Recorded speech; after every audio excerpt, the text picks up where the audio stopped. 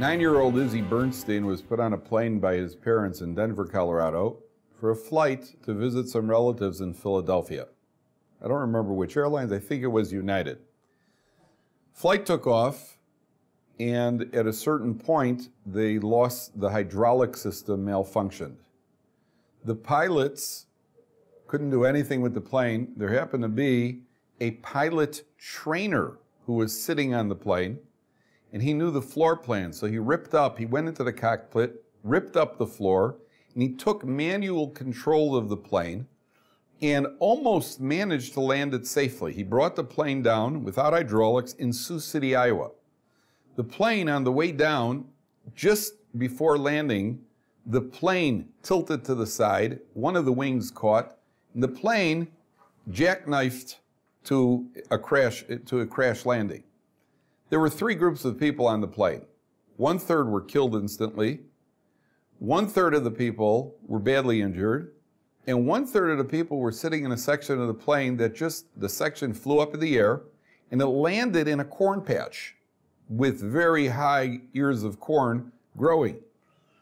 There happened to be on that day a National Guard training session in Sioux City, Iowa. So there were tremendous amounts of people on hand to help the, the, the injured.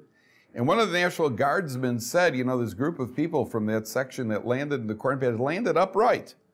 And the people themselves, they all of a sudden they were in a crash, they landed, they simply unbuckled their seatbelts, got out of their seats, and they walked out of the corn patch. Now this soldier, no, no, nobody realized that there was a group of people in the corn patch. He said he took a look it, all of a sudden this six foot, eight foot corn patch opens up and a group of people come marching out. He thought they were apparitions. He didn't know what it was.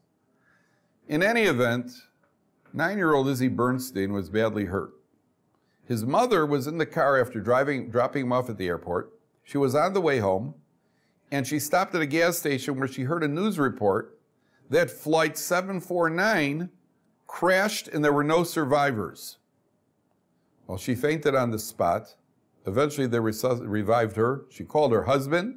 Her husband said, We're not giving up hope. They went to the airport where there were reports coming in.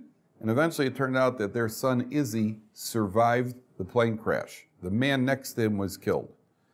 I personally know Izzy, and I spoke to him about what he was feeling when they were on the plane. He said the plane was bouncing up and down in a very, very awkward manner. Everybody was terrified. And he realized that, you know, this could be it. His parents heard that this was it, yet they didn't give up hope. Turned out that Izzy survived. Today, he's alive, well, and has his own family. It doesn't always happen that way. There isn't always a happy ending.